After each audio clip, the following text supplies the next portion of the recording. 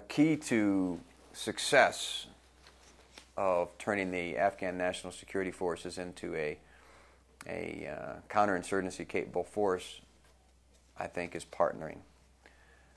Now, partnering involves training the Afghan National Security Forces. We've been doing that for about eight years.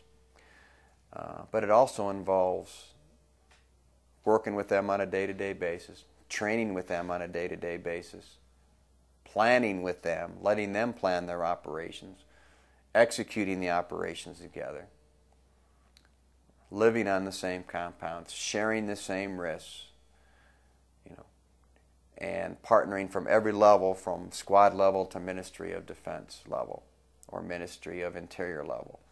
We really haven't done that in the past. There are several organizations that have partnered at different levels with various uh, uh, various levels of, of, success, but we've never had true partnering.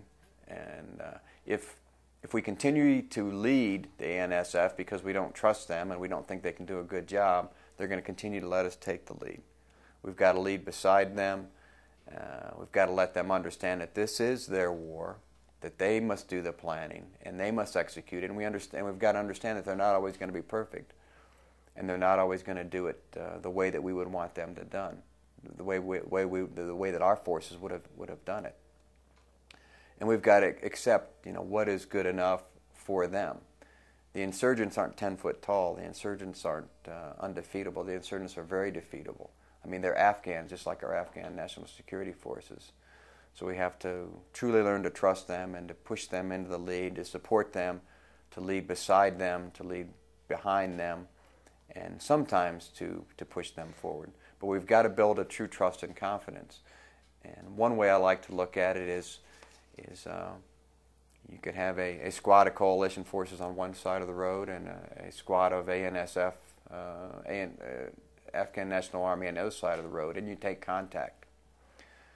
Now, naturally, when you take contact, especially if you're if you're uh, sort of a young force, you sort of go through your battle drills and you do what you're supposed to do. But then you sort of kind of you know you sort of look around and you look at your leaders, but you also look around at your comrades and you see what what are they doing? Are they firing their weapons? Are they uh, aggressively mo- moving on the enemy? You know, what are they doing? Are they, they cowering behind a rock or behind a building? And of course, if they're fighting aggressively, that emboldens you to fight aggressively. And we think the same thing will happen with the ANSF. When, we, when we're out there sharing the same risk and we take contact, I think they're going to look over at the coalition forces and they say, wow, look at them. They're fighting hard. They're risking their lives. And that's going to embolden them also to be more bold and to be more aggressive and to fight with us shoulder to shoulder. So we have to truly understand that true partnering.